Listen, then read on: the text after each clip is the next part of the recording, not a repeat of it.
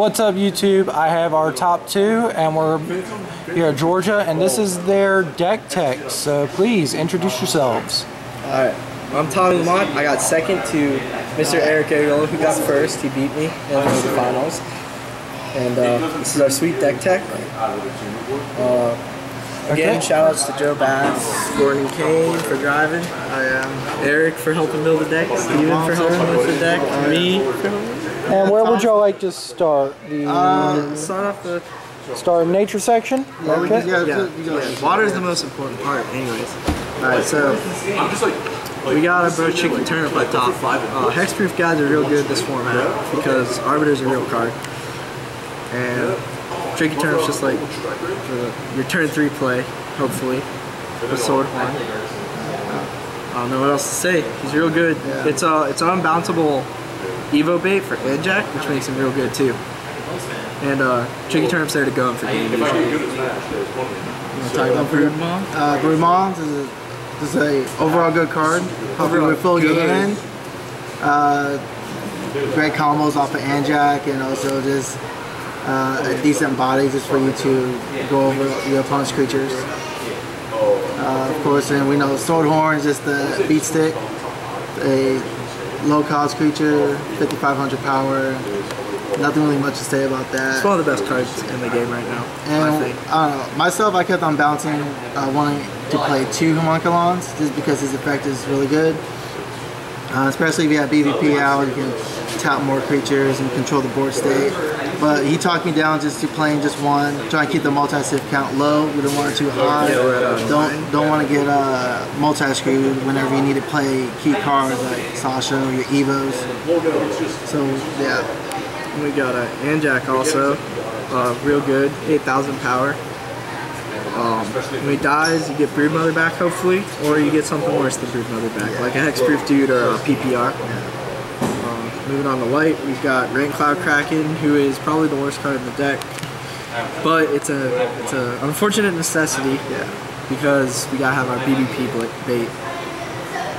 Uh, Keeper, your favorite card, you want yeah, to play, keeper. Yeah. Uh, play three of that guy? Yeah, three keepers. So you have your uh, targetable lineups, keepers and turnips. Uh, today was a lot of just mirror matches for me. Uh, I think I think played nothing but mirror match besides one round. Just played uh, red blue rush. Uh, other than that, keeper and turnips helped me out in the rush matchup. Uh, it's always good to have more hexproofs and decks. All right, you go. Uh, BBP's uh, it might be the best evolution in the game. It's up there. Might be the best card in the game, honestly. Uh, in my opinion. Helps helps uh, stabilize your field, make sure you're gaining control. Yeah, it's almost it's almost always one of the what I want to be playing on turn five. Especially when you have like a real field presence, you can just clear their field on turn five. Just really win the game, tempo ahead. Um, Arbiter, the best shit boss. Yeah, is a relevant race for BBP and is, can stop two creatures from attacking. So whenever they hit Arbiter, it just helps you seal the victory most of the time. And it's 2500, so like against Rush, it's just like a blowout when you get him. Because you tap down their little dudes and then swing into him. I know in my top four, I killed a Blitzer Mech off my Arbiter. It was sweet. And we got Fusion Sasha, Yeah, Sasha is the, I guess, the main focus of the deck. the game ender. You once you have Sasha out and you have at least one shield. As you notice, there's not as lot of spells, so you always have uh, cards to fill with Sasha's effect. So you always discard and you have the one shield there to stabilize and try and go for game the next turn or just build up your board presence with it. PJ is the only spell in the deck. We play three spells to maximize our Broodmother and Sasha. Um, it's a really good shield because, like Arbiter, it stops two guys, which is something that I think they're the only two shield blasts that you can say that consistently with Yeah, without needing anything else, Yeah. PJ and Arbiter are right now the two shield blasts that, that can stop two guys. And uh, the only reason, I mean, there's really no reason not to play except for that it's a multi-save. But it's great to hard cast. It's amazing in shields. Like the only downside is that sometimes it's not the best in shields. Yeah. And then uh, the blue lineup, we have uh, Scamps. Of course, Scamps is not a lot of people is playing spells, but for those occasions when it does happen, Shield Blast PJs or just control decks, Scamp does help you uh, swarm the board and just give you more body presence. Uh, for a special card we won't get to at the end. Yeah. Oh. yeah. We got a PPR.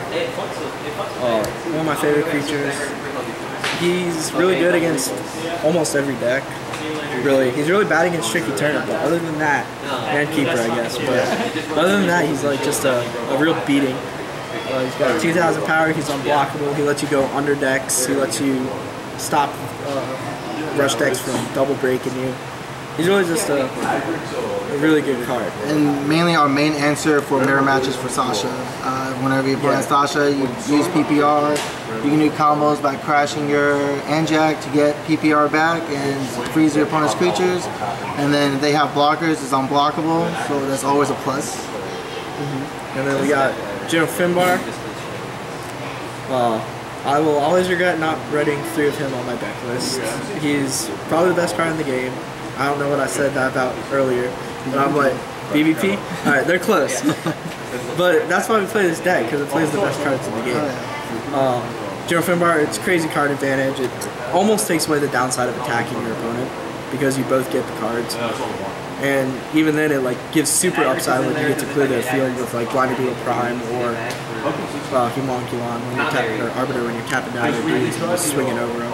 And this also help feed Sasha even more, give you more creature cards Yeah, in your hand. So when you unleash with Sasha, you can just discard your creatures, the ones you don't need, and just keep your shields alive and control the board state.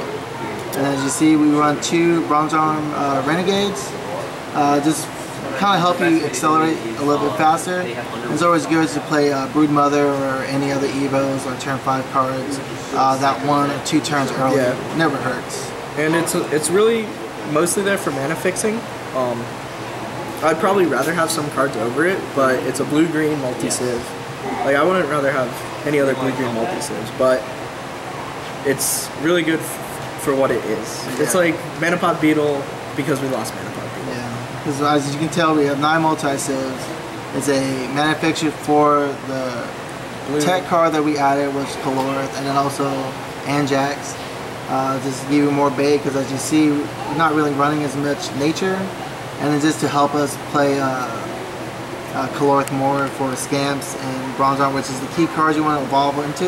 And then last resort would be PPR or Finbar, just to crash into their big creatures or help you survive with your Evo so they can either bounce back or they can't really do much of anything uh, just by crashing into it or just wasting their removal spell or effects to bounce the creature back. Yeah, Glorith is just a it's a solid card. It's the it's pretty much the third Anjac, except it gives cool it gives really cool uh, synergies with Sasha and Beetle Prime. Who Sasha's unleash, you want to get that off as many times as possible. And being able to bounce your dude when he dies lets you replay it. And then Blinder Beetle Prime, his enter the battlefield is just insane. So if you can bounce your dudes whenever they die, it's really just the best answer to Underworld Stalker we have, is crashing into it with Blinder Beetle Prime while Colores on the field. Or crashing into it with Colores while Colores on the field. Yeah, so you guys uh, check it out, enjoy the decks, make any tweaks, and just comments down below. Let us know what you uh, change about the deck, and hopefully you guys enjoy it. Alright, thanks. Peace out, YouTube.